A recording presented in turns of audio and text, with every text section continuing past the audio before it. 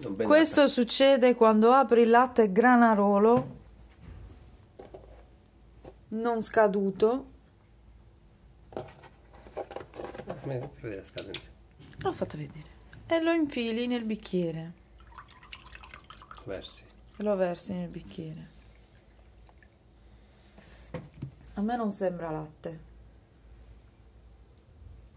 Per niente.